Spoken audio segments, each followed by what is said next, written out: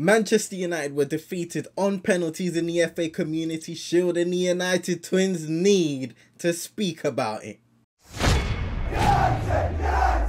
Blessings to everybody inside, including yourself, Cappy. Mm-hmm. Make sure you're hitting that like button, subscribing if you're new, sharing to your friends and frenemies. Please and thank you. Gracias. Two late goals. First from Alejandro Garnacho, giving United the lead with eight minutes of regulation time to go, and then Bernardo Silva equalising for City in the last minute of regulation.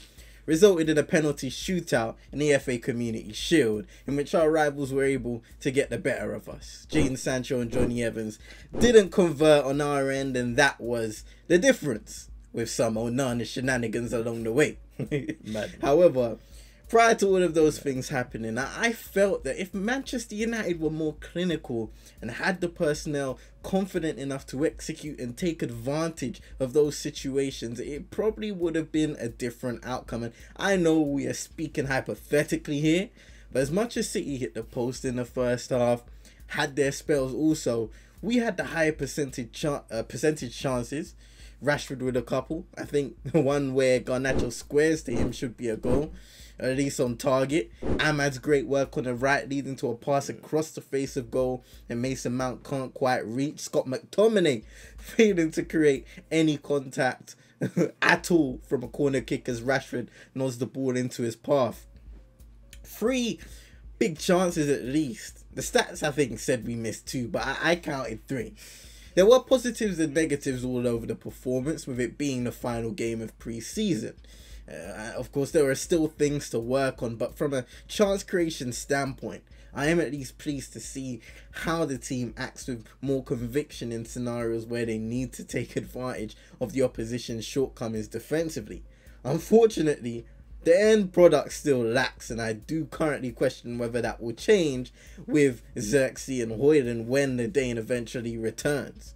Erik Ten Hag did have some comments prior to the Shield about Joshua Zirkzee, saying that he will have to make a step up and we will have to help him, which suggests he's not quite ready to start as of yet.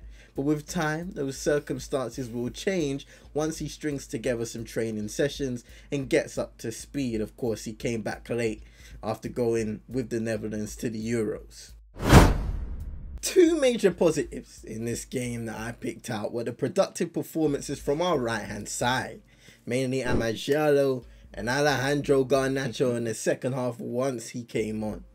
Both making profound impacts in the game, looking sharp, direct. See, and you tweeted out, I think, in the first half that Amad has that right hand side yeah. unlocked. And he may still, but Garnacho made a strong argument You can also remember that he can play on the left hand side too, which poses a threat to Marcus Rashford and Jadon Sancho, of course, returning this season and looking to really find his identity in a Manchester United shirt.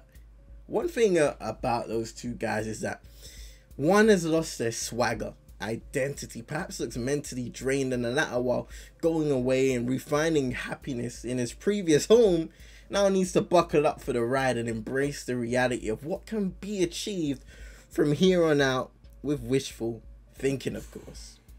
Early days, though. An interesting development after the final was the progression of both Aaron Wan-Bissaka's move to West Ham, which was confirmed, and he will be having the medical tests on Monday now. Um, and the deals for Matthijs de Ligt and Noussair Mazraoui, both departing Bayern Munich and, and will be travelling over on Monday as well. When you'll probably see this video. Two targets who, for the last few weeks, I feel United have been carefully negotiating to get the best possible deal with both clubs, agreeing a combined probably around £50 million deal with add-ons that may increase the fee in the future. Both signings welcome at this current time with both of our left backs still out uh, Luke Shaw's definitely a doubt. Tyrell Malacia is still away from being back. Licha was deployed there for the community shield, but ideally we need him in the middle orchestrating from that centre back position. And of course, with us already being short of choices, that it will offer added strength in numbers and quality.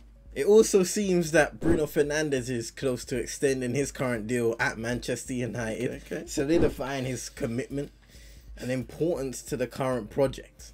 In May, he was probed about this very topic and he spoke honestly about wanting to be valued. And I think this shows just that. No doubt about it, he is a, a polarizing player to say the least, but one that I have come to appreciate because of his leadership, because of his commitment, determination, and the ability to change games on the blink of an eye.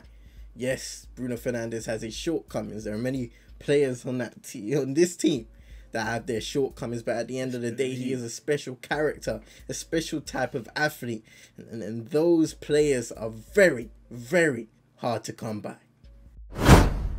Yeah, and, and Bruno will be staying contractually up to 2027, I believe, possibly an extra year, if all goes well. That is the future, though, and, and now United must focus in the present in preparation for our first league game of the season against Fulham. Mm. Face Sevilla, Hoffenheim, and Benfica in pre-season themselves. Lost Palhinha, Joao Palhinha to Bayern Munich, Tosin Adarabioyo to Chelsea, and Bobby De Cordova-Reid, who went to newly promoted Leicester City. I think bringing in an Emil Smith Rowe from Arsenal could be a wild card for them. Someone who will be hungry to take this fresh opportunity with ideally less pressure and fitness that has eluded him up to this point. Marco Silva remains the coach, of course, and when we all look back at last season's head to head, both sides had victories with the latest fixture in February, ending 2 1 at Old Trafford to the Cottagers. So hopefully we can avenge that result and kick off this Premier League campaign the right way. If you were to ask me of any expectations, I, I wouldn't really know what to say at this point, and that's perhaps why we ended up creating music. Another season. Oh man. So many changes, lost and effects for the future ahead to behold new freedoms. we wish for freedom. Instead of a, a typical season preview video. But hey, make sure you check that out, by the way. Check out the tune. Oh, come on, peace. Fire.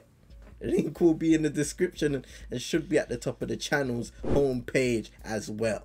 For now though, make sure you're hitting that like button telling us how you're feeling going into the new season, sharing to your friends and frenemies.